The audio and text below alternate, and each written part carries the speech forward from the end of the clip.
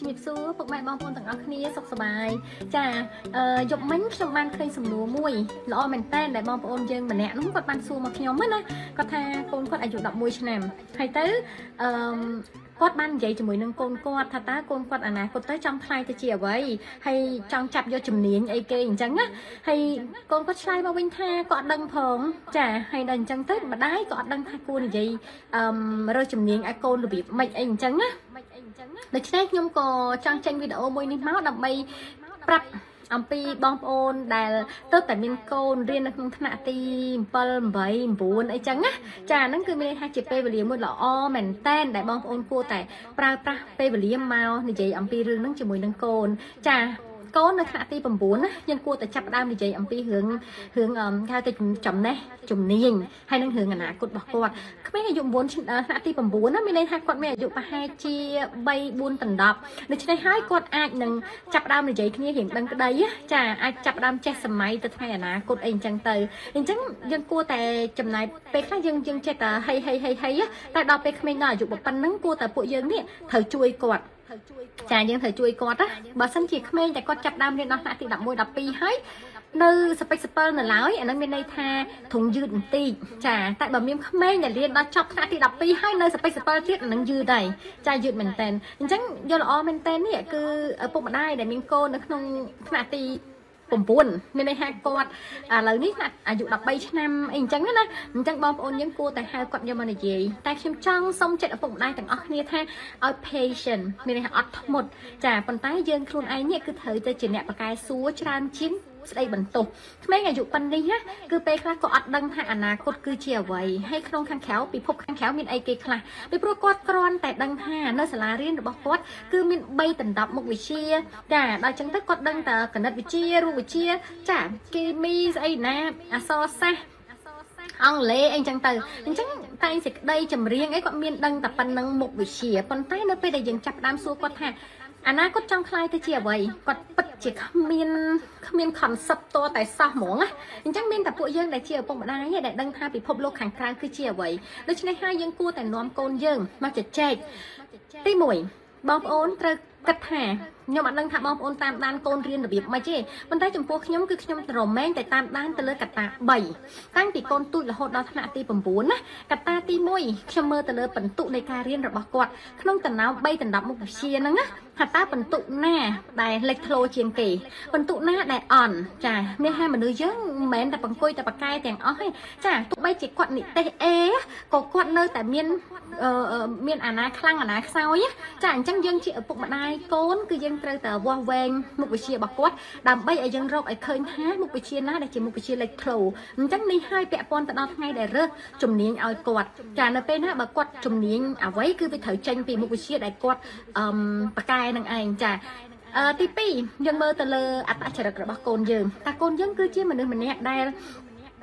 និយាយច្រើនហូហៀរាក់តែគាត់គឺជាមនុស្សម្នាក់ដែលមាន confidence មានភាពជាអ្នកដឹកនាំគាត់មានការគិតម៉ត់ចត់ទទួលខុសត្រូវខ្ពស់ឬក៏ជាប្រភេទមនុស្សម្នាក់ដែលស្ងប់ស្ងាត់អត់ចូលចិត្តនិយាយស្ដីចូលចិត្តនៅតែឯងអត់ចូលចិត្តភាពអ៊ូអចាឲ្យ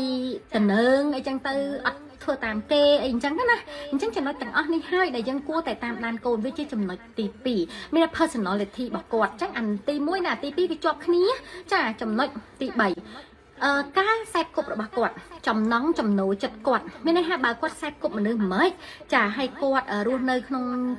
ជីវិតប្រចាំថ្ងៃរបស់គាត់តើគាត់ចូលចិត្តអីមិនចូលចិត្តអីអញ្ចឹង3កត្តានឹងហើយដែលយើងត្រូវយកមកសរុបបញ្ជីនៅក្នុងថ្នាក់ទី9ចាមានន័យថាគាត់អាយុ13 14ឆ្នាំណាកូនយើងអត់ដឹងទេថាខាងក្រៅមានអីខ្លះអញ្ចឹងបើសិនជាបងប្អូនធ្លាប់ធ្វើការនៅក្នុងក្រុមហ៊ុនឬក៏បងប្អូនជាម្ចាស់ ក្រុមហ៊ុនណាបងប្អូនដឹងហើយថានៅក្នុងក្រុមហ៊ុនមាន5ផ្នែក6ផ្នែក whatever ប៉ុន្តែមានផ្នែកគោលគោលហ្នឹងគឺវាមានផ្នែក sale ចាគណនេយ្យ HR IT ចាហើយនឹងខាង procurement ឬក៏អីចឹងហើយក៏ប្រហែលជាមានផ្នែកផ្សេងទៀតពាក្យថាផ្នែកទាំងអស់ហ្នឹងហើយដែលគឺជាជំនាញរបស់កូនយើងអាចទៅរួចគ្រប់ផ្នែកទាំងអស់គឺវាមានវាមានគេហៅថា carrier របស់វាចាអញ្ចឹងអញ្ចឹងសូមឲ្យបងប្អូនទាំងអស់គ្នាផ្គុំចាផ្គុំហ្នឹងគឺផ្គុំថាអឺអ្វីដែលគាត់ បកែឧទាហរណ៍ថាក្មេងម្នាក់បកែកណិតបកែតែងសក្តីបកែអីអញ្ចឹងទៅអញ្ចឹងនៅពេលដែលគាត់ចាតចរិតរបស់គាត់រស់រាយរាក់ទាក់ចាឲ្យគាត់អាចធ្វើការជាមួយសង្គមបានអីបានគឺមានឲ្យគាត់អាចរកស៊ីបានចារកស៊ីជួបមនុស្សអាច deal ជាមួយមនុស្សបានអីបានគាត់អាចធ្វើជា sale ក៏បានអាចរកស៊ីក៏បានគាត់អាចទិញចូលលក់ចេញក៏បានអីក៏បានប៉ុន្តែបើជាប្រភេទក្មេងម្នាក់ដែលគាត់បកែតែងសេចក្តីបកែនៅស្ងៀមស្ងៀមគូគំនូចាឬក៏អ្វីស្រាវជ្រាវពាក់ព័ន្ធទៅស្រាវជ្រាវមានស្ងាត់ស្ងាត់ទៅឯងអញ្ចឹងគាត់នឹងចូលចិត្តទៅនឹង IT ចាគូប្លង់ចាឬក៏ខាងផ្នែកសរសេរអត្ថបទចាខាង admin job ចាមានន័យថារដ្ឋបាលអញ្ចឹងអានឹងឃើញទេឃើញទេគឺវាពាក់ព័ន្ធទៅនឹងអនាគតរបស់កូនយើងអញ្ចឹងនៅពេលដែលយើងចាប់ផ្ដើមរើសជំនាញឲ្យកូននៅក្នុងថ្នាក់ទី9ចឹងទៀមបើសិនជាអាចទេណាសូមឲ្យឲ្យឪពុកម្ដាយទាំងអស់ចាប់អារម្មណ៍ទៅលើកត្តាទាំង3ហ្នឹងនៅពេលដល់ថ្នាក់ទី9យើងនឹងនិយាយមកប្រាប់គាត់វិញថាកូន ជំអឺអាកូនពីជំនាញពីទូចមកណាគឺកូនបកែអានេះអតចរិតកូនគឺអញ្ចេះហើយជីវិតរបស់កូនគឺអញ្ចេះអញ្ចឹងនៅក្នុងអឺសង្គមខាងក្រៅគឺគេមានរបរ1 2 3 4 5 6អញ្ចឹងកូនគិតថាម៉ាក់គិតថាកូនប្រហែលជាត្រូវទៅលើចំណុចទាំងអស់ហ្នឹងអីអញ្ចឹងតែកូនចូលចិត្តអាមួយណាហ្នឹងហើយអញ្ចឹងយើងចាប់ផ្ដើមនិយាយជាមួយនឹងគាត់អញ្ចឹងទៅពេលហ្នឹងគាត់នឹងមានអារម្មណ៍ថាចុះម៉ាក់អើយបើខ្ញុំធ្វើជាមេធាវីខ្ញុំត្រូវចេះអីគេខ្លះទៅ ចាចុះបើខ្ញុំធ្វើជាអង្សញើខ្ញុំត្រូវចេះអីខ្លះបើខ្ញុំធ្វើជាដុកទ័រខ្ញុំត្រូវចេះអីគេខ្លះដែរម៉ាក់ចាទាំងអស់នឹងហើយគឺវាពាក់ព័ន្ធទៅនឹងអ្វីដែលខ្ញុំនិយាយ3ខាងមុខហ្នឹងទៅបានយើងអាចដៅទិសដៅពេលដែលយើងចូលដល់ថ្នាក់ទី10គេចាប់ដើមសម្រួចមកតង់ចូលទី11គេសម្រួចមកតង់ចូលដល់ទី12យើងនឹងទៅត្រៀមទៅមហាវិទ្យាល័យពេលហ្នឹងគឺយើងច្បាស់ហើយថាយើងនឹងខ្លាយទៅជាអ្វីនៅថ្ងៃអនាគតចា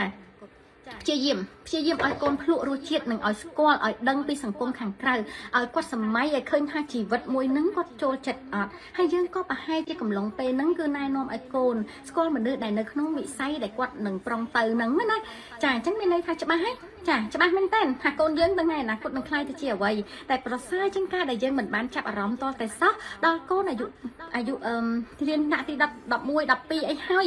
ឪពុកម្ដាយបានត្រឹមតែនិយាយថាកូនឯងធំឯងអ្នកចេះគិតអញ្ចឹងចាសូមចិត្តឪពុកម្ដាយទាំងអស់គ្នាកុំស្ដីបន្ទោសឲ្យកូនឲ្យសោះផ្ទុយទៅវិញជួយកូនចាបងប្អូនទាំងអស់គ្នាត្រូវចាំទុកថាក្មេងអត់ដែរប្រឡូកសង្គមទេប៉ុន្តែយើងទេដែលជាអ្នកនាំគាត់ឲ្យស្គាល់សង្គមហើយឪពុកម្ដាយមិនមែនស្ដីបន្ទោសកូនទេទេ គឺជាអ្នកដែលពូកែសួរកូនបំផុតនឹងជួយតម្រង់ដឹកដៃកូនចាទៅផ្លូវមួយនឹងនេះទៅជាឪពុកម្ដាយមួយដែលគេហៅថាអឺបងប្អូនខ្ញុំសួរមួយបើសិនជាបងប្អូននាំកូនអត់ជួយគិតកូនអត់ជួយអីដល់ថ្ងៃអនាគតទៅកូនសពេចសពិលកូនរកផ្លូវដើរមិនត្រូវដើរខុសហើយត្រូវបកក្រោយចាមានន័យថាប្រហែលជាចរិតគាត់នឹងអតហើយនឹងចំណងចំណូលចិត្តគាត់ប្រហែលជាត្រូវទៅធ្វើខាងផ្នែកគូប្លង់ ចាប់តែបងប្អូនបដោះបដាគាត់ឲ្យទៅខាងផ្នែកលក់អចលនៈទ្របអីចឹងទៅព្រោះបងប្អូនគិតថាអចលនៈទ្របកំពុងតែពេញនិយមទៅឯងតែគាត់គឺជាក្មេងម្នាក់ដែលស្ងប់ស្ងាត់គាត់ត្រូវការធ្វើការជាមួយនឹងកុំព្យូទ័រនៅពីក្រោយអញ្ចឹងចឹងធ្វើឲ្យគាត់នេះត្រូវទៅទៅខាងផ្លូវដែលយើងតម្រង់វាខុសហើយគាត់ខ្លួនឯងក៏អត់ដឹងអញ្ចឹងគាត់ត្រូវដើរបកក្រោយ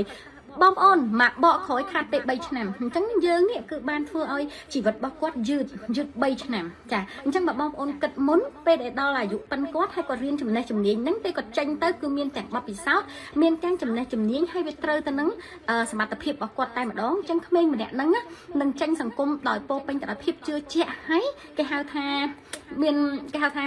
the right person for the right job ចាគឺត្រូវហ្មងអញ្ចឹងចំណុចនេះមួយវីដេអូខ្ញុំនេះគឺចង់ឲ្យបងប្អូនទាំងអស់គ្នាគិតចំណុចហ្នឹងមួយទៀតអានេះខ្ញុំនិយាយអំពីបទពិសោធន៍ខ្ញុំចាំកូនផ្ទាល់ចាស់ខ្ញុំចែកម្លែកជូនបងប្អូនមួយកូនរបស់ខ្ញុំ តាំងពីទូចដល់ធំគឺខ្ញុំបាន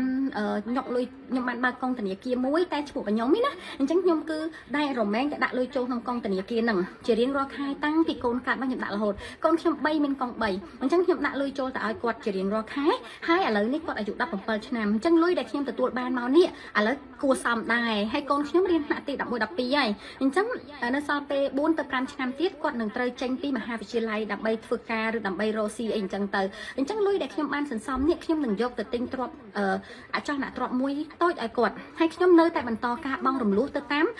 ទឹកលុយដែលខ្ញុំគិតថាខ្ញុំគួរបង់ឲ្យគាត់ចានៅពេលដែលគាត់ចេញពីមហាវិទ្យាល័យមក5ឆ្នាំកន្លងផុតទៅកូនខ្ញុំនឹងមានដើមទុនសម្រាប់រកស៊ីខ្លួនឯងដោយមិនចាំបាច់យកលុយពីខ្ញុំទៅទាំងដុល្លារឡើយចាដោយសារអចលនៈទ្រព្យមួយនេះវាគុណទ្វេដង ចាខ្ញុំមិនដឹងថាគុណប៉ុន្មានដងប៉ុន្តែឥឡូវពេលនេះគឺជាឱកាសល្អមួយមែនតើដែលអចលនៈធ្លាប់ធ្លាក់ថ្លៃអញ្ចឹងខ្ញុំទិញក្នុងតម្លៃទាបខ្ញុំបងរំលោះឲ្យកូនខ្ញុំចាខ្ចីលុយនាគារទៅហើយខ្ញុំបងទៅអញ្ចឹងកូនខ្ញុំពេលដែលគាត់ចេញមកគឺគាត់មានលុយមួយសម្រាប់គាត់តែម្ដងចាទី2 អឺកូនក្មេងមានពេលឈប់ក្នុងមួយឆ្នាំឈប់ពីរដង គេហៅថា summer break ហើយនិង winter break បាកងត្រូវអត់អញ្ចឹងឥឡូវកូនកូនខ្ញុំហ្នឹងគឺអាយុ7 10ហើយអញ្ចឹងក្នុង summer break ហើយនិង winter break គាត់នឹងទៅគេហៅថា internship ចាមានន័យថាទៅធ្វើការឲ្យគេអញ្ចឹងពេលដែលគាត់ធ្វើការឲ្យគេទៅគាត់នឹងមានបទពិសោធន៍អញ្ចឹង បងប្អូនសាកគិតមើល5ឆ្នាំមួយឆ្នាំធ្វើការ2បបពី2ដងអញ្ចឹងក្នុងរយៈពេល5ឆ្នាំគាត់បានទៅធ្វើការ10កន្លែងឬក៏10ការ10មានឱកាសក្នុងការទៅធ្វើការយកបទពិសោធន៍នោះ10ដង ចាអញ្ចឹងគាត់ចេញមកគាត់អាចមានបទពិសោធន៍ការងារបានខ្លះខ្លះឲ្យត្រូវអត់ចាមួយទៀតកូនខ្ញុំក្នុងកំឡុងពេលនេះកុំគិតណាថាកូនរវល់ កូនអាចធ្វើអ្វីលើសនឹងទៀតអញ្ចឹងខ្ញុំរមែងតែប្រាប់កូនខ្ញុំថាពិបាកមុនស្រណុកក្រោយតើកូន willing នឹងពិបាកនៅបើកូនចង់ឲ្យមានជីវិតមួយដ៏ល្អកូនចង់មានជីវិតមួយដ៏ងាយស្រួលគឺកូនត្រូវពិបាកមុនអ្នកដតីទាំងអស់គ្នាមានក្មេងមួយចំនួនចេញពីសាលាមកថ្នាក់ទី12ឬក៏ចេញពីមហាវិទ្យាល័យឬក៏រៀនចប់ដល់ Master ទៀតប៉ុន្តែគាត់អត់ អត់បានពិបាកគឺគាត់គិតថារៀនហ្នឹងគឺពិបាកតែអ្វីដែលពិបាកលើសការរៀនទៅទៀតហ្នឹងគឺបទពិសោធន៍ជាក់ស្ដែងនៅក្នុងជីវិតរស់នៅក្នុងសង្គមដូច្នេះផ្ដល់ឱកាសឲ្យកូនមានពេលវេលាដើម្បីទទួលយកបទពិសោធន៍នឹងខ្លះណាអញ្ចឹងជាហេតុមួយធ្វើឲ្យកូនយើងពេលដែលគាត់រៀនចប់គាត់ចេញមកទី1គាត់មានទិសគាត់មានទិសដៅច្បាស់លាស់ទី2គាត់មានការគ្រប់គ្រងច្បាស់លាស់ទី3គាត់មានបទពិសោធន៍រួចហើយទី4គាត់មានសមត្ថភាពទី5គាត់មានដើមទុនមានការគ្រប់គ្រងចាសួរថា ខ្ញុំចាប់ដើមគិតអនាគតកូនខ្ញុំតាំងពីថ្ងៃណាមកខ្ញុំបានចាប់ដើមគិតអនាគតកូនខ្ញុំតាំងពីបាតជើងក្រហមខ្ញុំបានសំលុយនឹងឲ្យគាត់តាំងពីបាតជើងក្រហមរហូតដល់ខ្ញុំជ្រើសរើសសាលារៀនឲ្យគាត់ហ្នឹងគឺខ្ញុំបានគិតរួចទៅហើយថាឲ្យគាត់រៀនសាលាល្អដោយសារខ្ញុំចង់ឲ្យគាត់ខ្សែគប់មនុស្សល្អហើយខ្ញុំនឹងជួយគាត់ទៅផ្លូវល្អចាមួយទៀតនៅពេលដែលគាត់អាយុ19ឆ្នាំខ្ញុំចាប់ផ្ដើម9ថ្នាក់ទី9ខ្ញុំចាប់9ឆ្នាំខ្ញុំបកគលការងារមួយគឺឪពុកទី2នៅក្នុងគ្រួសារ មានន័យថាបង្រៀនគាត់ឲ្យចេះទទួលខុសត្រូវនៅពេលដែលគាត់ចាប់ផ្ដើមរៀនដល់ថ្នាក់ទី9ខ្ញុំចាប់ផ្ដើមតម្រង់ទិសគាត់ប្រាប់គាត់ថាអនាគតគាត់គឺមានរូបភាពមិនហើយគាត់មានជំរឿ1 2 3 4 5អញ្ចឹងគាត់ខ្លួនឯងពេញចិត្តមួយណាយើងជួយគាត់ទៅផ្លូវមួយហ្នឹងចាចំណែកដល់ពេលថ្នាក់ទី10ទី11ឥឡូវនេះគាត់ទី11 12ចូលវិញហ្នឹងអញ្ចឹងបងប្អូនជឿអត់ខ្ញុំនិយាយជាមួយនឹងកូនខ្ញុំម្ដង និយាយអំពីរឿងអនាគតគឺជាពេលវេលាមួយដែលសប្បាយមែនទែនទាំងគាត់ទាំងខ្ញុំព្រោះយើងបានមើលឃើញថាយើងឲ្យគាត់ខ្លាយជាអីគាត់នឹងខ្លាយទៅជាអ្វីចាអញ្ចឹងគាត់បានត្រៀមចិត្តនៅក្នុងការខ្លាយខ្លួនទៅជាបុគ្គលម្នាក់នឹងរួចទៅហើយអញ្ចឹងខ្ញុំបានចំណាយពេលរាល់ពេលដែលខ្ញុំនិយាយរឿងអនាគតជាមួយកូនខ្ញុំចំណាយពេលដល់ទៅពី2ម៉ោងទៅ3ម៉ោងឯណោះចាអញ្ចឹងពីការលេខរូតលាស់របស់កូនខ្ញុំក៏ខ្ញុំតែងតែគិតជាប្រចាំថ្ងៃអញ្ចឹងសួរទៅវិញថា ថ្ងៃអនាគតទៅខ្ញុំនឹងមានបញ្ហាឬក៏ខ្ញុំនឹងនឹងមានការស្ដាយក្រោយជាមួយនឹងកូនឬក៏ខ្ញុំនឹងពិបាកចិត្តដោយសារកូនឬក៏អីអត់ប្រហែលជាតិចមែនតែនចាតិចមែនតែនបើធៀបជាមួយនឹងកូនដែលអាយុប្រប៉ុណ្្នឹងដូចគ្នាអញ្ចឹងខ្ញុំមើលឃើញថាដោយសារខ្ញុំជាប្រចាំថ្ងៃខ្ញុំនិយាយច្រើនអញ្ចឹង ដល់ពេលអនាគតទៅខ្ញុំអត់ត្រូវការនិយាយច្រើនហើយគាត់ក៏អត់ត្រូវការឲ្យខ្ញុំមកជួយគាត់ច្រើនទេដោយសារខ្ញុំជួយគាត់ម្ដងបន្តិចម្ដងបន្តិចម្ដងបន្តិចអញ្ចឹងនៅពេលដែលគាត់ត្រូវការគឺមានទាំងអស់រួចទៅហើយខ្ញុំសូមលើកទឹកចិត្តទៅដល់ឪពុកម្ដាយទាំងអស់គ្នាដែលកំពុងតែចិញ្ចឹមកូនជាពិសេសមិនថានៅក្នុងវ័យណាក៏ដោយសូមបងប្អូនទាំងអស់គ្នាយកឧទាហរណ៍និងយកការគិតរបស់ខ្ញុំនេះយកទៅពិចារណាខ្ញុំជឿថាបងប្អូនប្រហែលជាមានអ្នកខ្លះបានធ្វើល្អលើសខ្ញុំទៀតជួយចែកម្លែកមកខ្ញុំផងពួកខ្ញុំនៅសល់កូន2ទៀតដែរអញ្ចឹងណាចាហើយមិនមែនមានន័យថាអ្វីដែលខ្ញុំគិតហ្នឹងគឺត្រូវ100%ទេប៉ុន្តែអ្វីដែលខ្ញុំមើលឃើញនិងផលដែលខ្ញុំបានទទួលគឺខ្ញុំពេញចិត្តខ្ញុំពេញចិត្តនៅអ្វីដែលកូនខ្ញុំកំពុងតែវិវត្តខ្លួនទៅហ្នឹងណាគឺខ្ញុំពេញចិត្តមែនតើគឺស្រឡាញ់កូនស្រឡាញ់ហើយក៏មិនដែលពិបាកចិត្តឬក៏មិនដែលមានបញ្ហាអីដោយសារកូនដែរអញ្ចឹងខ្ញុំក៏ចង់ឲ្យបងប្អូនទាំងអស់គ្នាមានកូនដូចខ្ញុំឬក៏មានភាពដូចថា ច្បាស់លាស់ដូចខ្ញុំមិនសូវជាពិបាកចិត្តអីច្រើនទេហើយក៏មិនចាំបាច់បន្ទោសអ្នកណាប៉ុន្តែគ្រាន់តែយើងត្រូវយកចិត្តទុកដាក់ហើយធ្វើវាជាប្រចាំហើយធ្វើរាល់ថ្ងៃតែម្ដងអញ្ចឹងសង្ឃឹមថាសារថ្ងៃនេះអាចបានឲ្យមិត្តភ័ក្តិបងប្អូនយើងទាំងអស់គ្នានឹងមានទិសដៅច្បាស់លាស់ក្នុងការតម្រង់ទិសកូនណាសម្រាប់អនាគតរបស់កូនឲ្យកាន់តែច្បាស់ជាងនឹងទាំងកូនទាំងយើងគឺសប្បាយចិត្តទាំងអស់គ្នាចាអរគុណ